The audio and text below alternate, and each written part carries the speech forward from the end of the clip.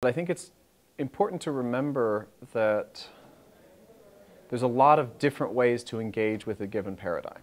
So for instance, in object-oriented programming, there's the, the untyped object uh, styles. There's C++, there's Java, there's Smalltalk, there's all of these different languages that give a different perspective on what it means to be object-oriented. And the same thing is true in functional programming, is there are many, many different people inspired by the idea of a functional programming paradigm. And it's not a crisp definition of what is functional programming. There's a lot of different attitudes and ideas on what it means.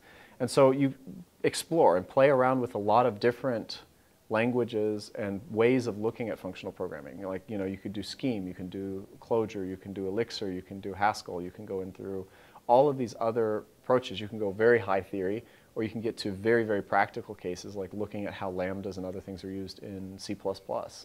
And you start somewhere playing around with those ideas and just practice and play with it and just go incrementally and pick one little thing to figure out and then go to the next. And maybe it turns out that Scheme or one of these other languages is a lot more accessible to you. And if it is more accessible, then you'll pick up the ideas a little bit faster and then then you can play with one of the others. So you don't have to do whatever is the most popular right now. Just begin playing with functional programming.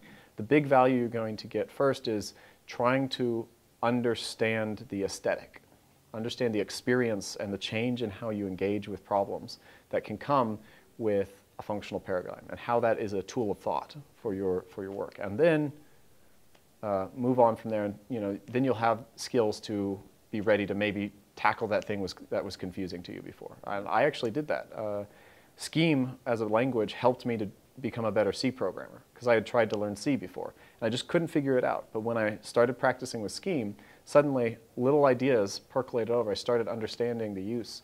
And then I could go back to C and I was like, oh, okay, I've got it. So maybe you just have to flip around a little bit first.